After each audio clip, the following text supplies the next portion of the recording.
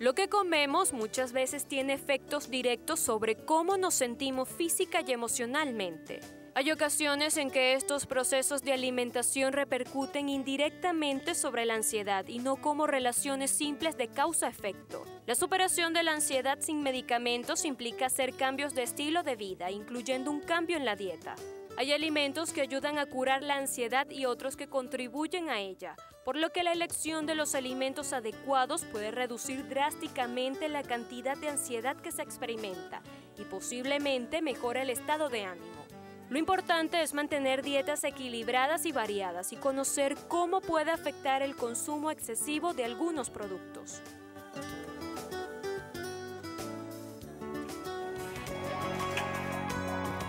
Feliz lunes, bienvenidos a una nueva emisión de Noticias Globovisión Salud. Yo soy Oriana Díaz y me complace saludarlos en nombre de todo el equipo técnico y de producción que hace posible que este espacio llegue a sus hogares. Y me acompaña el día de hoy el doctor Doménico Petrarca, conferencista, médico cirujano especialista en trastorno de conducta alimenticia. Bienvenido, gracias por acompañarme el día de hoy. Gracias a ti por invitarme. Doctor, allí veíamos la ansiedad y es un factor como que... Eh, crucial en la alimentación para salirnos, digamos que de la dieta. Entonces, ¿qué relación tiene la ansiedad con la alimentación? Lo que pasa es que la ansiedad, eh, el problema de peso eh, tiene que ser visto más allá de una dieta.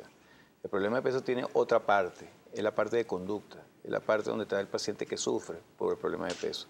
La ansiedad no es simplemente sino un problema de la forma en que el individuo come. Cuando un individuo come y hace una dieta muy estricta, no produce glucosa, no se produce glucosa, o come sin hambre, con una frase que yo siempre he tenido. A las 10 de la mañana el organismo te va a pedir la glucosa, caemos en un cuadro de hipoglicemia. Hipoglicemia es baja de azúcar. Eso trae como consecuencia que a nivel central se disparan todos los mediadores químicos y te provoca comer de forma mm, casi ansiosa, eh, de forma ansiosa como dice la palabra, pero eso no es una ansiedad psicológica, sino una ansiedad metabólica. Entonces la idea es que, yo siempre lo he dicho, y lo he dicho en programas de televisión y lo he dicho en, con mis conferencias, que yo soy enemigo público número uno de las dietas y de tantas cosas que se inventan. Eh, ¿Por qué? Porque eso trae como consecuencia que la persona no coma carbohidratos. Al no comer carbohidratos no se produce glucosa y va a tener ansiedad durante todo el día. el que me está escuchando sabe que en la noche, si no comió carbohidratos durante todo el día, en la noche se está muriendo de hambre. Y, de una forma ansiosa. O sea, que es un problema metabólico y psicológico. Claro, además. y tan psicológico es que utilizan la comida como una válvula de escape para resolver los problemas. Entonces resulta que hay pacientes que no les conviene perder peso porque el ansiolítico está en la nevera, no está en la farmacia. Y allí eh, vamos en que hay estudios en que cuando nos sentimos mal, estamos deprimidos o nuestro ánimo baja, buscamos comer azúcar, o alimentos que sean de nuestro, nuestro agrado. Por la explicación que te di, que el paciente no, no come suficiente cantidad de glucosa, necesita azúcar, come el azúcar y se tranquiliza piensa que está tranquilizando la, la, ansiedad, pues no, está tranquilizando un cuadro metabólico. Esto podría traer entonces efectos secundarios. Sí, y efectos psicológicos muy graves. Personas que creen que la comida es, es la solución a todos los problemas. tienes un problema muy grave, eso es como en las películas, la muchacha que lo deja el novio y está comiéndose un helado en la cama, bueno, igualito. Que la comida es la solución a todos los problemas. ¿Y existen médicos, eh, métodos quirúrgicos que quizás eh, ayuden a, a contrarrestar esta ansiedad? ¿Está usted de acuerdo con esto? No, no. Por ejemplo, una muy conocida es la malla lingual. Ah, bueno, yo, a mí me hicieron una entrevista en una oportunidad y me cayó encima casi todos los odontólogos de Venezuela y muchas personas, pero es que yo tengo que decir, es una atrocidad coserse la boca. ¿Cómo tú te vas a coser la boca? Eh, la malla sublingual, el principio es que te tratan de, suprimir eh, las cosas que te dan el sabor de las comidas pero realmente la gente no pierde peso por eso, pierde peso por la incomodidad y por lo engorroso de tener una cosa amarrada en la lengua. todo, lo, todo lo que comes es líquido y por supuesto si vas a perder peso seguramente. Claro, pero después que la retires... Después que la retires, ¿qué, sucede? ¿qué sucede? Psicológicamente vas a seguir comiendo lo mismo y quizá más porque caes dentro de un cuadro en el cual... Lo que nunca comido antes, vas a comer ahorita. Por supuesto. ¿Qué alimentos pueden contribuir a la ansiedad? Eh, los alimentos que no tienen carbohidratos cuando se come solamente proteína. Hay, y hay unos estudios hechos a nivel mundial donde se dice que los carbohidratos ayudan mucho a perder peso. Porque cuando se elimina por completo los carbohidratos, caemos en cuadros de hipoglicemia y la hipoglicemia trae como consecuencia esa ansiedad. Y hay personas que comen 5 o 6 veces al día producto de una ansiedad provocada por no comer carbohidratos. Usted tiene eh, una frase que es comer cuando se tiene cuando Se tiene hambre. Claro. ¿Qué pasa cuando obligamos al cuerpo a consumir alimentos? El organismo no cataboliza lo que come, si no lo destruye, no lo transforma en glucosa. A no transformarlo en glucosa, vamos a caer en, esa famosa palabra que es la ansiedad que todo el mundo nombra, pero realmente no es ansiedad, es hipoglicemia. Es como la mamá, la mamá obliga al niño a comer y no hay nada peor que obligar a un niño a comer. Ahí comienza el problema de peso. El niño cuando ve que algo es obligado es malo. Esa mamá que anda por toda la casa con una cuchara obligándolo a comer, no, el niño va a pedir la comida en el momento que quiere comer. ¿Qué pasa cuando comemos cinco veces al día y después dejamos de hacer esa, esa dieta? Eso forma parte de lo que es el realismo mágico alrededor del problema de peso. Tantas cosas que se inventan, dieta y todo lo demás. Sí, se puede comer cinco veces al día, vas a acelerar el metabolismo, pero ¿y después? Cuando el día que no puedas comer las cinco veces porque tienes trabajo, tienes cosas que hacer, el metabolismo mete el freno de mano en seco y vas a engordar nuevamente. Nosotros tenemos que buscar la manera, y esto es para todas las personas que, están, que nos escuchan en tu programa y que yo sé que son muchas, que la forma de que esto sea permanente. Hay personas que van a mi consulta y dicen, yo perdí 20 kilos, usted nunca perdió 20 kilos, usted escondió esos 20 kilos. Hay que buscar la manera de que el poder sobre el peso lo tengas tú, no lo tengas un papel. Entonces, ¿cómo podríamos lograr eso? Enseñándole a, las enseñándole a las personas cómo manejar esas, eso que llaman ansiedad, esa compulsión por la comida y idealmente enseñarle a disfrutar lo que se come. Porque las personas con problemas de peso, aunque usted no lo crea, son personas que no disfrutan y ven la comida como un problema. Hay personas que tienen el metabolismo activo y otras personas que tienen el metabolismo más lento. ¿Esto podría verse afectados por la ansiedad? Sí. ¿Unos están más propensos que otros? No, por la ansiedad no, sino si, eh, existe patología como el hipotiroidismo que puede ser un factor predisponente hoy en día estoy que está claro, pero no determinante para llevar a un paciente a un cuadro de, de, obesidad. Hoy en día se habla más de la, de la, glucosa y de la insulina. La insulina como una hormona, para, ser muy, para, que, más potable la cosa, la insulina es una hormona que se produce en el páncreas y es una hormona que hace que baje los niveles de glucosa.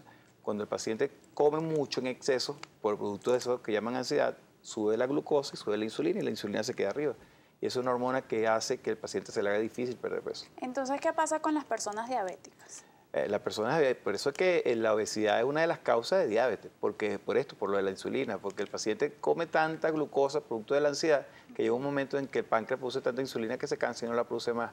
Y, y se producen dos cosas, o resistencia a la insulina o un cuadro en donde no se produce más insulina.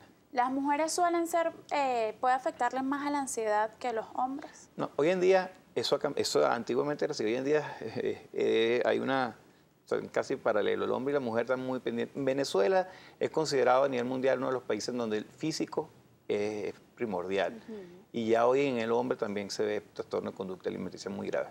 ¿El estrés cómo podría afectar en Por eso a él es muchísimo. ¿Por qué? Porque ven la comida como la válvula de escape para manejar el estrés. Y entonces tú comes y te tranquilizas, pero lo que te está tranquilizando realmente no es el estrés, te está tranquilizando un problema metabólico. Entonces ahí es donde venimos a la parte psicológica porque lo tomamos como excusa. Como excusa, como una válvula de escape. ¿Qué no debería faltar entonces en nuestra, en nuestra dieta? Carbohidratos. Aunque la gente que me está escuchando dirá, este doctor, carbohidratos, pero carbohidratos en cantidad. El problema de todo es las cantidades, cuando nos excedemos. Hay que enseñar a las personas que no se deben exceder, pero sí se debe consumir. Eliminar los carbohidratos por completo es, una, es otra atrocidad, es una cosa que no se debe hacer. Quisiera saber cómo diferenciar cuando tenemos hambre y cuando es ansiedad. ¿Qué, ¿Qué, factores, qué pautas nos dan para diferenciar? En muchas oportunidades nosotros nos despertamos y matemáticamente estamos comiendo, porque el desayuno es verdad, es la comida más importante del día, pero cuando se tiene hambre. A veces desayunamos por, por de forma matemática, de forma mecánica. Quizás nos tomamos un café, y después desayunamos. ¿no? Nosotros lo primero que tenemos que hacer cuando nos despertemos es comer, pero en el momento en que tengamos hambre, no de forma, no de forma autómata, porque eso es lo que trae como consecuencia, que durante todo el día, sea, por ejemplo, hay personas que almuerzan al mediodía por horario, pues, eh, son las 12, hay que comer. Y es una creencia, una creencia que existe desde de nuestros ancestros, que hay que comer a las 8, hay que comer a las 12 y hay que comer a las 8. Es bueno, si tú no tienes hambre, ¿por qué tienes que obligarte a comer? Entonces, eh, la idea es, sentir necesidad, es, sentir placer por lo que tú estás comiendo, aunque las dietas eh, que se hacen son dietas que realmente son verdaderamente unos, karmas para las personas que las hacen y no debe ser así.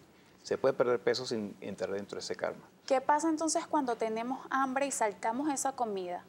¿Qué pasa cuando ingerimos los otros alimentos? Bueno, caemos dentro del cuadro ese de, de, hipoglicemia y comemos lo que hay y lo que no hay. Sería un efecto rebote. Un efecto rebote y grandísimo. Y es allí donde aumentas de peso. ¿Qué efecto, eh, cómo podríamos evitar los excesos? Eh, mira, es que realmente es allí donde, donde yo entro y siempre yo soy muy flexible. Hay personas que eh, cuando hacen un régimen castran al paciente. Tú vas por una fiesta, no puedes beber. Tú vas por una fiesta, no puedes comer. Tú vas por una fiesta, tú no vayas por una fiesta. Personas pueden ir por una fiesta y eventualmente pueden, pueden ingerir cualquier, cualquier bebida que pueda hacer o pueden comerse un pequeño. ¿Por qué no? Pero eso es eventual. Yo estoy hablando de los excesos, cuando solo se hace todos los días o cuando la compulsividad te lleva a comerte eh, chocolate de forma abrupta todos los días. Es donde está el problema. Pero lograr el equilibrio es lo que nosotros, es lo que yo hago con los pacientes. Lograr un equilibrio en donde él pueda consumir, él pueda ir por una fiesta. Hay personas que cuando hacen una dieta se eliminan la fiesta. Su vida social se, se, trasloca totalmente y eso no debería ser así. Que, si yo voy a su consulta, doctor, para bajar de peso, ¿qué, qué, ¿cómo me guía usted? ¿Cómo cambiaría Lo primero, lo primero que hay que hacer es lo que no se hace, hablar con el paciente y saber cuándo comenzó el problema, por qué comenzó el problema. Porque la paciente con problemas de peso en muchas oportunidades comienza el problema cuando se le murió un familiar. ¿Y qué pasó? De allí en adelante empezó, engordó. ¿Por qué? Porque utilizó la comida como esa válvula de escape para manejarse durante, durante ese periodo de luto. Y también puede ser costumbres que, que adoptamos desde muy pequeños. Desde muy pequeños, como te expliqué, la mamá que obliga al niño a comer muchas oportunidades yo veo niños, eh, pero no desde el punto de vista pediátrico, porque tiene que ver un pediatra, pero sí de la conducta de los padres, que por culpa de los padres los niños están gordos. Claro. Doctor, entonces, ¿cuáles son las recomendaciones que usted podría darle a los venezolanos para no caer en excesos y para mantener una vida sana sin caer en estas dietas que a largo plazo pueden eh, dañar nuestra salud? Claro. Eh, muchas personas saben que las dietas, y el que me está escuchando lo sabe, la dieta que está haciendo la ha hecho montones de veces y ha aumentado otra vez de peso. Y ha aumentado el doble de lo que ha perdido. Eliminar los carbohidratos es lo peor que puede hacer una persona. No lo haga. Háganme caso, no lo haga porque van a caer dentro de un círculo vicioso muy, muy feo. No se cosan la boca, por favor, la lengua, no. Hagan las cosas como deben, ser. La comida debe verse como una necesidad y como uno de los placeres más grandes del mundo, pero siempre guiado por un especialista que sepa realmente lo que tú sientes. Lamentablemente a ti te dan un papel te dan unas gotas mágicas, te dan uno, una pastillita y vete para tu casa. Vas a perder peso, pero después vas a aumentar nuevamente. Doctor, aquí nos escribe Carlos Rivas y nos pregunta, ¿es cierto que el agua o el chicle calman la ansiedad? No, no, cambia, no calman la ansiedad. todo está en la todo, Claro, usted siente lleno, pero al cabo de poco tiempo, cuando tú, esa agua se va, va a volver a tener cuadro Y no nos alimentamos y hacemos daño El, problema es que cortarlo de raíz. Y cortarlo de raíz es comer con hambre y comer la suficiente cantidad de carbohidratos que el organismo necesita, no más ni menos. Ni menos. También nos escribe Rosana Roa, doctor, ¿tomar batidos verdes para la ansiedad puede perjudicar? Allí caemos en los mitos y realidades de, la... son mitos, eh, mitos de los... Mira, yo soy enemigo de, de, de las cosas que, las merengadas que existen muchas en el mercado, porque hay muchas que son merengadas que son, que son sustitutos de la, comida. Ninguna merengada va a sustituir la comida. Mi criterio muy particular respecto al criterio de todo el mundo. Hay merengadas que son complementos, pero sustitutos no existen muchas, hay muchas en el mercado. Una más famosa que otra, pero hay muchas en el mercado.